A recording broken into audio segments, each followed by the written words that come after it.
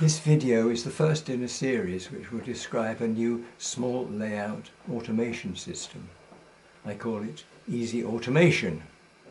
The main features of this system are that there's no wiring involved, there are no rail cuts, push-pull trains are accommodated, no PC is needed, and it's easy to switch to manual operation. Operation of the automation is defined by a series of single-step instructions. There are just four types of instructions. Firstly, the loco instructions, which tell the loco to go in a certain direction at a certain speed.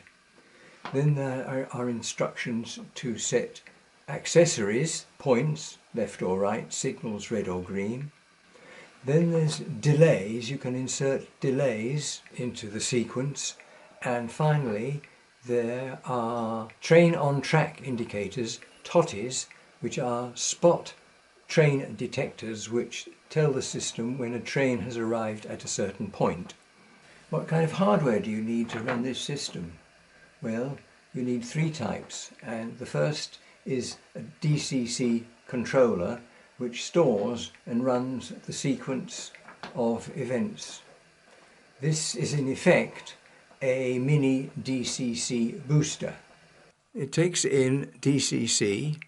The PIC generates the DCC pattern to provide the control of the loco and the accessories and the power comes out of this controller and is fed directly to the track and that's the only connection.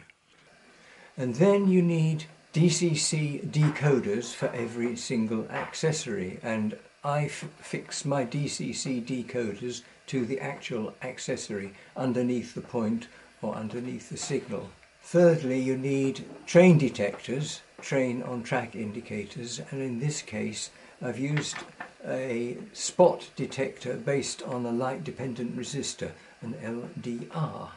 You don't need a PC connected to the layout to run the automation, but you do need a PC to write the sequence and to program the PIC. To start really gently, I'll show you the simplest possible automation sequence. And for this, all we need is the DCC controller. A DMU or loco runs back or forth along a single stretch of track. We just use delays, we don't use any TOTIs, and that makes it very simple. To write the programming sequence I use a program called Notepad++, which is very convenient for assembler programs. It produces a very nice format. This is how it turns out.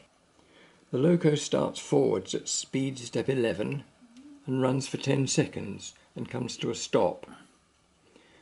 It waits for 4 seconds and then goes back at speed step 11 for another 10 seconds before coming to a stop.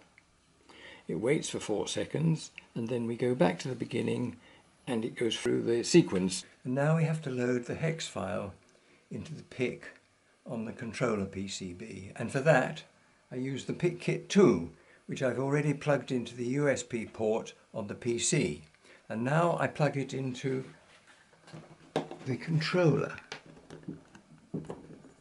I've saved the assembler file and it's been transferred to the microchip IDE. Now I've got to build the hex file.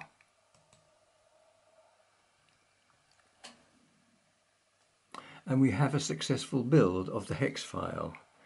Now we can put that hex file into the PIC using the PICkit 2 menu. Here I'm selecting the file, EzyAutomation version 2.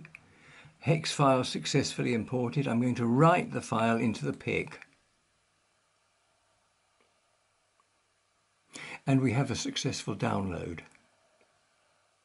Now the hex file's loaded into the PIC, let's see if it works. I switch on the power and the DMU starts rolling, travels for 10 seconds and then slows down to a stop. It slows down at the rate set by CV4. It speeds up at the rate set by CV3. Notice that I'm not touching the Roco multiMAUS.